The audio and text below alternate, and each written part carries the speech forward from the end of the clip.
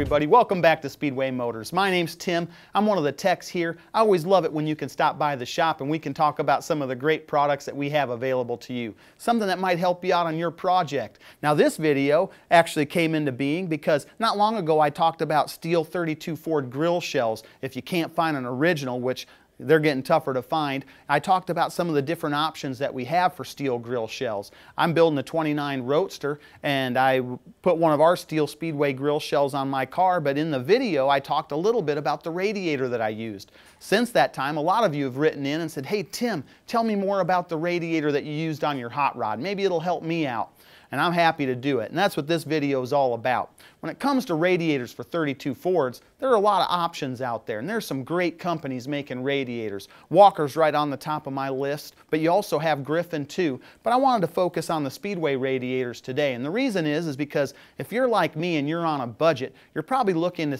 see where you can save money, because obviously building a car is expensive. I've got two kids at home, they're in swimming lessons, dance lessons, and, and that all costs money. So anytime I can save a little bit, you know I'm, I'm going to do it. So that's where the Speedway radiator comes into play. This is a great radiator, and the reason I know that is because customers that buy these, they just love them. They never call me back. They say, Tim, that radiator worked great, and that's why I had no qualms about using it on my little Roadster. Uh, what I ended up having to do is uh, make some adjustments to it that I'll talk about in a second, but chances are if you're running a small block Chevy, these things are actually set up with necks uh, to work with a small block. They've got a centralized upper neck, but then they have a, a passenger side lower neck.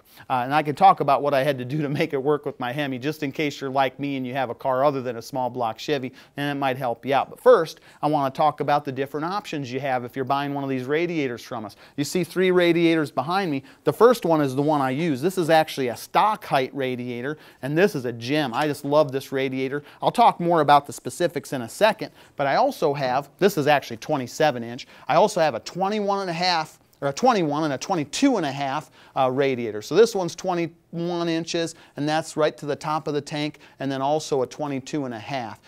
The only one that has the stock style neck is actually the stock height 27 inch. The other ones do not have the neck, uh, just to make a note of that.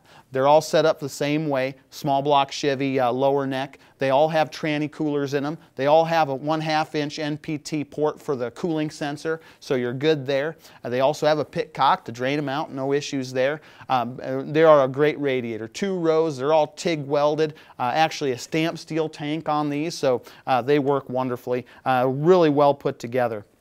When I first got mine home, the first order of business was making it work with my grill shell. I had a steel uh, grill shell from here at Speedway. It was really simple. You know, I just had to locate the holes in these tabs. The aluminum tabs are all provided for you and just drill these in the right place. Everything bolts up fine. I didn't have to do a whole heck of a lot to it. The lower tabs, uh, the same way. You find your holes in your cross member. I'm using a little Model A cross member in my in, my, in the kind of centralize my 32 frame rails drill your hole there and you're good to go. We've got all the mounting kits and everything you need. If you, uh, if you need bolts to mount that up, no problem. We can fix you up.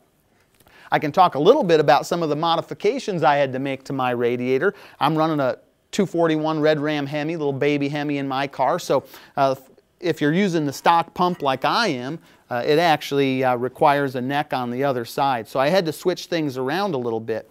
Luckily, I have a good friend that loves TIG welding aluminum. He, he can't get enough of it. I was able to hack the, the lower uh, neck off of my radiator, make a nice little patch there, and then put it on the other side. I also moved my petcock to the other side and sealed up my tranny cooler holes because, of course, I'm running a manual transmission, so I didn't have to mess with that. Seems like a lot of work, but holy cow, it really wasn't bad at all. The nice thing is, is Speedway Motors, uh, we have a little piece on the shelf that comes in really handy. It's a little water neck kit, and you can see the part number for that uh, right here on the video. We can uh, put a clickable link for you if this would interest you.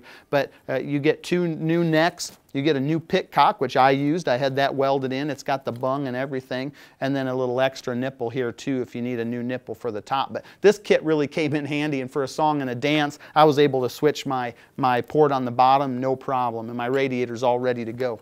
The other thing I like about this radiator, if you want to get into manipulating, and of course a lot of guys don't, they want to just bolt this thing in and go.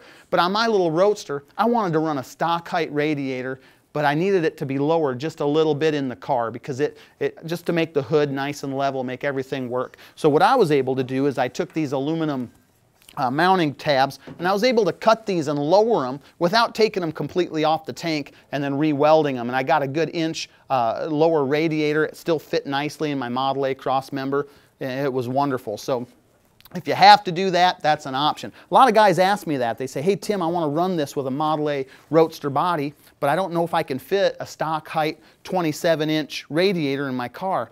And that's one way of doing it. You can lower those tabs just a little bit to get you the clearance. You could also go you know, to the 22 and a half inch radiator but the kicker there is you, you lose a little bit of your core. It'll still cool the car pretty well if everything else is, is as it should be. But I like sticking with the stock style. It fills up my, my uh, grill shell nicely and, and it just looks right. Of course, I've painted mine flat black to kind of blend it all in and all that good stuff. But really nice radiator. Again, we've got them in the 27 inch, 22 and a half, and 21 inch.